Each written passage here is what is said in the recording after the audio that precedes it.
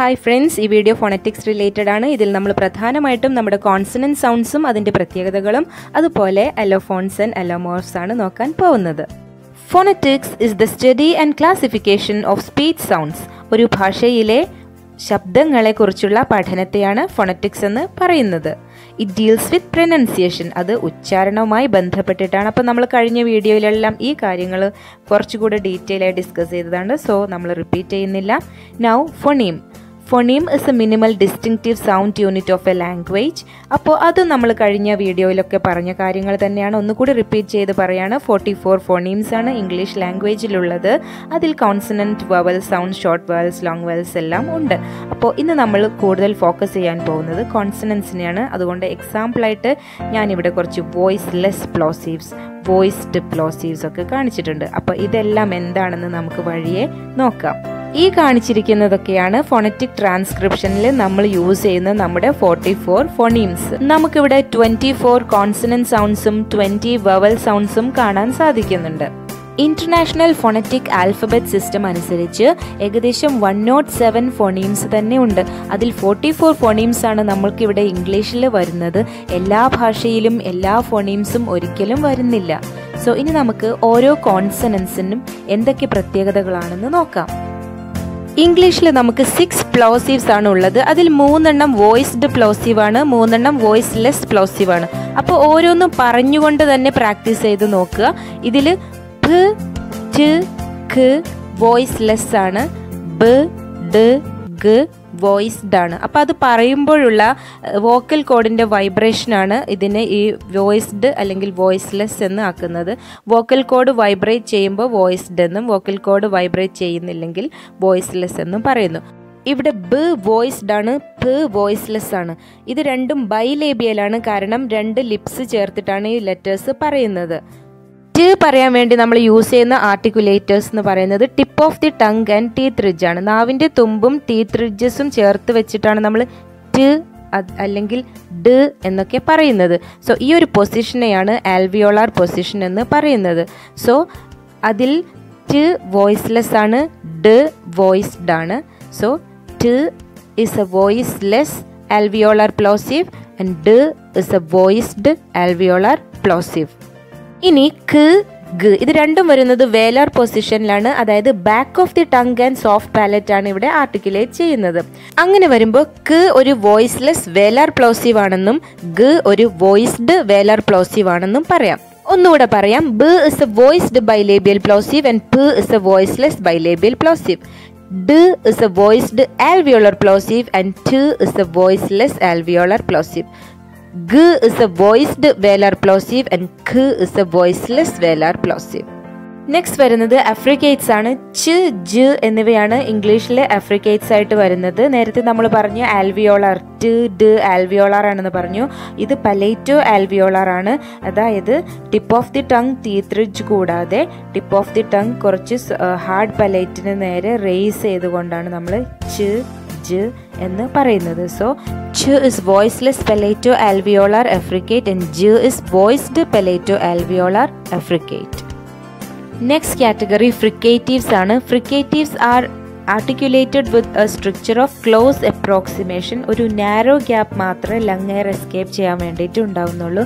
So we have nine fricatives in English voiceless voiced എന്നൊരു ഓർഡറിലാണ് ഇവിടെ തന്നിട്ടുള്ളത്. ഫ് വ് വ് സ് സ് ഷ് ഴ് ഹ്. ഇവിടെ ഫ് വ് ലേബിയോ ഡെന്റൽ ആണ്. നമുക്കറിയാം ലോവർ ലിപ്പും മുകളിലെ പല്ലും ചേർത്തിട്ടാണ് ഇത് ലേബിയോ ഡെന്റൽ എന്ന് പറയുന്നത്. ഫ് വ്. അതുപോലെ ഫ് വ് പറയുമ്പോൾ നമ്മുടെ രണ്ട് വരിയിലെയും പല്ലുകളാണ് പ്രധാനമായിട്ടും വേണ്ടത്. അതുകൊണ്ടാണ് അതിനെ ഡെന്റൽ എന്ന് പറയുന്നത്. ഫ് വ് ഇനി സ് സ്. നേരത്തെ നമ്മൾ ട് ഡ് ആൽവിയോളാർ പ്ലോസീവ്സ് പറഞ്ഞിരുന്നു. ഇത് ആൽവിയോളാർ ഫ്രിക്കേറ്റീവ്സ് ആണ്. അതേ പൊസിഷനിൽ തന്നെ കുറച്ചുകൂടി ഒരു നേരോ ഗ്യാപ്പ് ഇട്ടിട്ടാണ് സ് സ് വരുന്നത്. നെക്സ്റ്റ് വൺ നമ്മൾ ഷുവർ എന്നൊക്കെ പറയുന്ന ഷ് സൗണ്ട് പ്ലേഷർ എന്നൊക്കെ പറയുമ്പോഴുണ്ടാവുന്ന ഷ് സൗണ്ടുമാണ് തന്നിട്ടുള്ളത്. ഇത് രണ്ടും പലേറ്റോ ആൽവിയോളർ സൗണ്ടാണ് നേരത്തെ നമ്മൾ അഫ്രിക്കേറ്റ്സ് ച് ജ് പലേറ്റോ ആൽവിയോളർ ആണെന്ന് പറഞ്ഞിരുന്നു. ഇത് പലേറ്റോ ആൽവിയോളർ ആയി തന്നെ വരുന്ന ഫ്രിക്കേറ്റീവ്സ് ആണ് ഷ് ഷ് നെക്സ്റ്റ് വൺ ഇസ് ഹ് it's a voiceless glottal fricative. Next we have approximants. The first one R is a voiced post alveolar approximant. Then Y is a voiced palatal approximant and V is a voiced labiovelar approximant. Next we have one lateral consonant in English that is L. L is a voiced alveolar lateral consonant. ഇനി നമുക്ക് nasal sounds കൂടെ മാത്രമേ പറയാനുള്ളൂ nasal sound എന്ന് വെച്ചാൽ നമ്മുടെ മൂക്കിലൂടെയാണ് air escape ചെയ്യുന്നത് എക്സാമ്പിൾ മ് ന് ങ് Here m is a voiced bilabial nasal, n is a voiced alveolar nasal and ng is a voiced velar nasal. ഇവിടെ അപ്രോക്സിമെൻസ് നെയ്സൽസ് അതുപോലെ ലാറ്ററൽ കോൺസണന്റ് ഇതെല്ലാം വോയിസ്ഡ് ആണെന്ന് ശ്രദ്ധിച്ചിട്ടുണ്ടാവും. അതുപോലെ തന്നെ ബൈലേബിയൽ എന്നുള്ള പൊസിഷൻ എന്താണെന്നും ആൽവിയോളാർ എന്നുള്ള പൊസിഷൻ എന്താണെന്നും അതുപോലെ തന്നെ വേലാർ പൊസിഷൻ എന്താണെന്നും ജസ്റ്റ് ഒന്ന് മനസ്സിലാക്കി വെച്ചാൽ തന്നെ ഈ അക്ഷരങ്ങൾ കൃത്യമായി പറയാൻ സാധിക്കും. സോ ഈ കാര്യങ്ങളൊക്കെ മനസ്സിൽ വെച്ചുകൊണ്ടാണ് നമ്മൾ എലോഫോൺസ് എന്താണെന്ന് പഠിക്കാൻ പോകുന്നത്. ഓരോ ഫോണിയമും എവിടെ നിന്നാണ് ഉണ്ടാവുന്നത്? സോ അതിന് എന്തെല്ലാം ക്യാരക്ടറിസ്റ്റിക്സ് ഉണ്ടായിരിക്കണം എന്നൊക്കെ നമ്മൾ കണ്ടു കഴിഞ്ഞു. പക്ഷേ ചില ഫോണീംസിന് സ്പെല്ലിങ്സിനനുസരിച്ചിട്ട് ചില പ്രൊനൗൺസിയേഷൻ ഡിഫറൻസസ് വരാറുണ്ട്. ഇതിനെയാണ് നമ്മൾ എലോഫോൺസ് എന്ന് പറയുന്നത്. അതായത് ഒരേ ഫോണിയും തന്നെ ഡിഫറെന്റ് കോണ്ടെക്സ്റ്റിൽ ഡിഫറെന്റ് സൗണ്ട് ആയിക്കൊണ്ട് നമ്മൾ പ്രൊനൗൺസ് ചെയ്യുന്നതിനെയാണ് എലോഫോൺ എന്ന് പറയുന്നത്. Allophones are phonetic variations of a phoneme. The same phoneme is pronounced differently depending on its position or placement in a word. For example, നമ്മൾ പറഞ്ഞു ബ് ഗ് ഡ് എല്ലാം വോയിസ്ഡ് ആണെന്ന് എന്നാൽ ഈ വേർഡ്സ് നോക്കുക ഓരോന്നിലും ബിയുടെ സ്ഥാനം മാറുന്നതിനനുസരിച്ച് ബിയുടെ ശബ്ദത്തിലും മാറ്റം വരുന്നുണ്ട് ബാഗ് ലാബ് സബ്മിറ്റ് സബ്ജക്റ്റ് അപ്പോൾ നോക്കൂ ബാഗ് എന്ന് പറഞ്ഞപ്പോൾ ബി ശരിക്കും നമ്മൾ കേട്ടു. ലാബ് അവിടെ വോയിസ്ഡ് ആവുന്നില്ല. ആ ലാബ് ആ ബി നമ്മൾ കേൾക്കുന്നേ ഇല്ല. തേർഡ് സ്റ്റെപ്പ് അവിടെ നമ്മൾ വീണ്ടും ലിപ്സ് തുറക്കുന്നേ ഇല്ല. സബ്മേറ്റ് അവിടെ എം വന്നത് കാരണം അത് നെയ്സിലായി മാറുന്നുണ്ട്. സബ്ജക്റ്റ് ഇവിടെ ബിക്ക് ശേഷം ഒരു അഫ്രിക്കേറ്റ് വന്നപ്പോഴും ആ ബി മുഴുവനായി നമ്മൾ കേട്ടില്ല. സോ ഇതുപോലെ ഫോണറ്റിക് വേരിയേഷൻസ് ഡിഫറെന്റ് വേർഡ്സിൽ ഒരേ ബ് തന്നെ നമ്മൾ ഡിഫറെന്റ് സൗണ്ടായിട്ട് കേൾക്കുന്നതിനാണ് നമ്മൾ എലോഫോൺസ് എന്ന് പറയുന്നത്. ഇത് നമ്മൾ ഫോണറ്റിക്കലി ട്രാൻസ്ക്രൈബ് ചെയ്യുമ്പം ഈ ബ് എന്ന ചിഹ്നം തന്നെയാണ് യൂസ് ചെയ്യുന്നത്. അവിടെ മാറ്റമൊന്നും വരുന്നില്ല.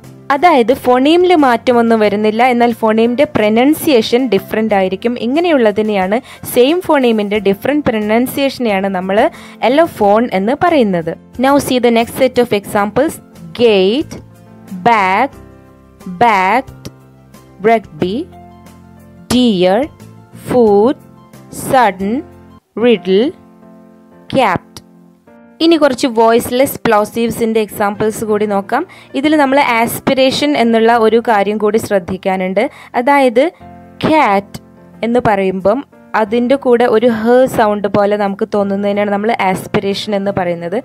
ക്യാറ്റ് എന്ന് പറയുമ്പം ക്ക് ആസ്പിറേറ്റഡ് ആണ്. എന്നാൽ സ്കിൻ എന്ന് പറയുമ്പോൾ നമ്മൾ സ്കിൻ എന്ന് പറയുന്നില്ല. സോ അവിടെ ആ ക്ക് സൗണ്ട് അൺആസ്പിറേറ്റഡ് ആയി മാറുന്നുണ്ട്. ബാക്ക് അവിടെ അത് സൈലന്റ് ആയി മാറുന്നുണ്ട്. അതുപോലെ ടാപ്പ് ടി ആസ്പിറേറ്റഡ് ആണ് സ്റ്റോപ്പ് ടി ആസ്പിറേറ്റഡ് അല്ല മട്ടൺ ബാറ്റ് അപ്പോൾ ഓരോന്നിലും ടീയുടെ ഒരു ഇന്റൻസിറ്റി അല്ലെങ്കിൽ പ്രന സൗണ്ട് കേൾക്കുന്നത് വ്യത്യാസപ്പെടുന്നുണ്ട്. സോ ഇങ്ങനെ വ്യത്യാസപ്പെടുന്നതിനെയാണ് സെയിം ഫോണിയുമാണ് പക്ഷേ സൗണ്ട് വ്യത്യാസപ്പെടുന്നതും. അതിനെയാണ് നമ്മൾ ഹോമോഫോൺ എന്ന് പറയുന്നത്. So aspirated and unaspirated sounds of the same phoneme can be grouped together as allophone ആസ്പിറേഷനെ base ചെയ്തിട്ട് നമുക്ക് അലോഫോൺസ് ആണെന്ന് പറയാം. Now pin spin top most captain ഇവിടെയൊക്കെ ഓരോന്നിനും ഓരോ തരത്തിലാണ് ഡിഫറൻസ് വരാൻ കാരണം. First two pin and spin ആസ്പിറേഷന്റെ difference വന്നിട്ടുണ്ട്. എന്നാൽ തേർഡ് വൺ നെയ്സൽ സൗണ്ടിന്റെ ഇൻഫ്ലുവൻസ് ആണ് അവിടെ വന്നിട്ടുള്ളത്. ഫോർത്ത് വണ്ണിൽ മറ്റൊരു കോൺസണന്റ് സൗണ്ടിന്റെ ഇൻഫ്ലുവൻസ് കൊണ്ടാണ് ആ സൗണ്ട് ഡിഫറൻസ് വന്നിട്ടുള്ളത്. സോ ഇതെല്ലാം എലോഫോൺസിന് എക്സാമ്പിൾസ് ആണ്. Next we can see some examples with nasals so M is a voiced bilabial nasal നമ്മൾ പഠിച്ചിട്ടുണ്ട് എക്സാമിനേഷൻ മാൻ കംഫേർട്ട് കംഫേർട്ട് എന്നൊക്കെ പറയുമ്പോൾ ആ എം പ്രൊനൗൺസ് ചെയ്യുന്ന രീതി തന്നെ മാറുന്നുണ്ട്. സ്മെൽ റിതം ഇനി എൻ നോക്കാം. മെനി ടെൻത് ടെൻത് നോക്കൂ. ന് എന്നുള്ളത് ഒരു ആൽവിയോളർ സൗണ്ടാണ് പക്ഷേ നമ്മൾ ടെന്ത് എന്ന് പറയുമ്പോൾ എന്ന് ആ പല്ലിൽ തൊട്ടുകൊണ്ട് പല്ലിന്റെ അറ്റത്ത് തൊട്ടുകൊണ്ടാണ് എന്ത് എന്ന് പറയുന്നത്. എൻറോൾ ഇവിടെ നമ്മൾ ആറിന്റെ ഭാഗത്തേക്ക് എന്നിനെ കൊണ്ടുപോകുന്നുണ്ട് പ്രനൗൺസ് ചെയ്യുമ്പം. അതുപോലെ സ്നേയിൽ സോ ഇതുപോലെ ഡിഫറെന്റ് വേർഡ്സിൽ സ്പെല്ലിങ്ങിനനുസരിച്ചിട്ടുള്ള മാറ്റങ്ങൾ different allophones of the same phoneme ഉണ്ടാക്കുന്നുണ്ട്. സോ ഓർത്തിരിക്കുക allophones are possible multiple spoken sounds of a single phoneme ഇനി നമുക്ക് എലോമോർഫ്സ് എന്താണെന്ന് നോക്കാം. An allomorph is a phonetic variant of a morpheme. നേരത്തെ നമ്മൾ ഫോണീമിന്റെ പറഞ്ഞ അതേപോലെ തന്നെയാണ് മോർഫീമിന്റെ ഫോണറ്റിക് വേരിയൻസിനെയാണ് നമ്മൾ എല്ലോ മോർഫ് എന്ന് പറയുന്നത്. ഇവിടെ ഫോണീം അല്ല നോക്കുന്നത് മോർഫീമാണ് നോക്കുന്നതെന്ന് മാത്രം. അപ്പോൾ മോർഫീം എങ്ങനെയാണ് ഡിവൈഡ് ചെയ്യുന്നതെന്നെല്ലാം നമ്മൾ ഒരു മറ്റൊരു വീഡിയോയിൽ പറഞ്ഞതാണ്. സോ നമുക്കറിയാം ഇവിടെ ക്യാറ്റ്സ് എന്ന് പറയുന്നത് ക്യാറ്റ് എന്നൊരു മോർഫീമും എസ് എന്ന ഒരു മോർഫീമും കൂടി ചേർന്നിട്ടാണ് ഉണ്ടായിട്ടുള്ളത്. ഇതേ മോർഫിമായ എസ് തന്നെയാണ് ബാഗിന്റെ കൂടെയും റോസിന്റെ കൂടെയും എല്ലാം വന്നിട്ടുള്ളത്.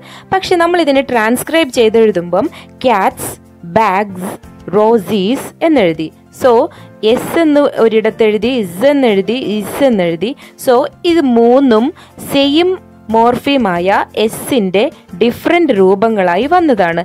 സോ ഇതിനെയാണ് ഒരേ മോർഫീമിന്റെ ഡിഫറെന്റ് പ്രൊനൗൺസിയേഷൻസിനെയാണ് നമ്മൾ എല്ലോ മോർഫ് എന്ന് പറയുന്നത്. ഇനി ഇ എസ് എന്ന മോർഫീമിന്റെ അലോമോർഫ്സ് നോക്കാം. പെറ്റേറ്റോസ് ബുഷീസ് ബോക്സീസ് ഇവിടെ എല്ലാം ഇ എസിന്റെ വിവിധ രൂപങ്ങളാണ് ട്രാൻസ്ക്രൈബ് ചെയ്തിട്ടുള്ളത്. സോ ഇതൊന്നും മീനിങ്ങിനെ മാറ്റുന്നില്ല. ഇനിയിപ്പോൾ ഇസ് എന്നതിന് പകരം നമ്മൾ ഇസ് എന്ന് എഴുതിയാലും മീനിങ് മാറാനൊന്നും പോകുന്നില്ല. സോ പ്ലൂരൽ മോർഫീംസ് അലോമോർഫ്സിന് നല്ലൊരു എക്സാമ്പിളാണ് ഇനി നമുക്ക് പാസ് ഫോംസിൽ അലോമോർഫ്സ് എങ്ങനെ വരുന്നതെന്ന് നോക്കാം. ഇ ഡി എന്നുള്ള ഒരു മോർഫീം നമ്മൾ സാധാരണ പാസ്റ്റ് ടെൻസ് ഉണ്ടാക്കാൻ വേണ്ടി ചേർക്കാറുണ്ട്. പക്ഷേ അത് പുൾഡ് കുക്ക്ഡ് വോണ്ടഡ് എന്ന ഈ മൂന്ന് വേർഡ്സിലും വരുമ്പോൾ മൂന്ന് പ്രൊനൗൺസിയേഷനാണ് ഈ ഇ ഡിക്ക് അവിടെ കിട്ടുന്നത്. കാരണം പുൾഡ് അവിടെ ഡി ആയി തന്നെ നിൽക്കുന്നു. കുക്ക്ഡ് അവിടെ കുക്ഡ് കുക്ഡ് ടീ ആയിട്ട് നിൽക്കുന്നു. വോണ്ടീഡ് വോണ്ടീഡ് എന്നാണ് ട്രാൻസ്ക്രൈബ് ചെയ്ത് വരുന്നത്. അവിടെ ഇഡ് എന്ന പ്രൊനൗൺസിയേഷൻ ആണ് അതിന് വരുന്നത്. സോ ഇ ഡി എന്ന ഒരു മോർഫീമിന് തന്നെ ഡിഫറെന്റ് പ്രൊനൗൺസിയേഷൻ വരുന്നതിനെയാണ് നമ്മൾ എലോ മോർഫ് എന്നതുകൊണ്ട് ഉദ്ദേശിക്കുന്നത്.